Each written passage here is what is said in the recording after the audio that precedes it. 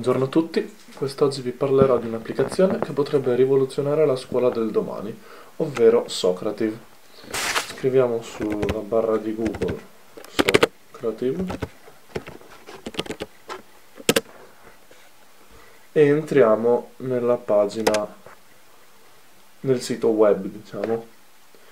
Questa è la schermata iniziale appunto di Socrative eh, questa applicazione permette agli insegnanti di creare delle verifiche sul web alle quali poi gli studenti dovranno cercare di rispondere correttamente. Ci sono appunto due varietà di questa applicazione, la prima è stata creata per i professori, che appunto permette di creare delle, delle, delle verifiche, e la seconda invece è stata creata per gli alunni, che, infatti i ragazzi dovranno semplicemente connettersi al sito di Socrative, inserire il codice della classe virtuale scelto dal professore e iniziare a rispondere alle domande.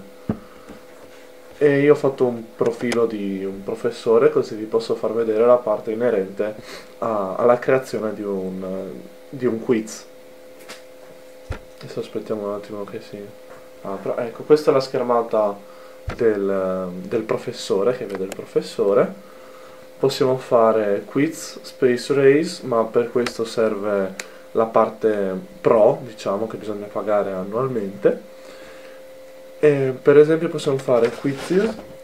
Io qua ho fatto un, una specie di quiz una domanda e quando apriamo questo, questa parte diciamo di Socrative possiamo trovare più cose. Infatti le, le domande possono essere fatte in scelta multipla, vero falso, vero falso o risposta corta. Infatti se vediamo multiple choice, sulla prima barra possiamo scrivere o mettere un'immagine e in, seguito poi possiamo mettere le risposte che appunto solo una, solo una sarà giusta.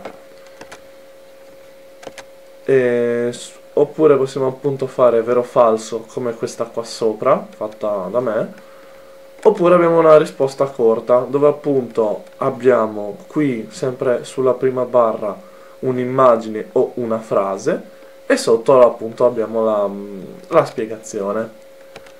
Una volta creato appunto nostro, la nostra verifica, basta lanciarlo e basta schiacciare su, su quiz. Una volta schiacciato su quiz, appunto selezioniamo il quiz che abbiamo creato, facciamo next Dopodiché vengono fuori dei diversi metodi che dobbiamo selezionare. Instant Feedback, Open Navigation e Picture Paste. E di solito si preme Instant Feed e si vengono a selezionare due parti, Required Names e Show Question Feedback. Iniziamo. Appunto non essendoci nessuna classe, tra virgolette, Qua verrebbe fuori il progresso, sia in percentuale ma possiamo cambiarlo. Possiamo avere lo score in percentuale o con l'asterisco. Qui poi possiamo vedere o la classe totale a cosa ha risposto alla prima domanda, appunto al quiz, oppure possiamo vedere direttamente tutti i nomi.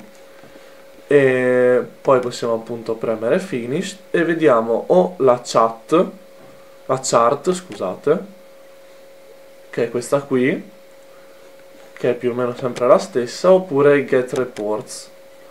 Appunto il get reports ti fa vedere, ti dovrebbe far vedere appunto eh, sulla tua email eh, il, il, progresso che è stato fatto, è stato fatto da, da ogni singola persona, diciamo. Eh, grazie a tutti per l'attenzione e per essere giunti fino a qui. Spero che questo video tutorial vi sia stato d'aiuto. Arrivederci.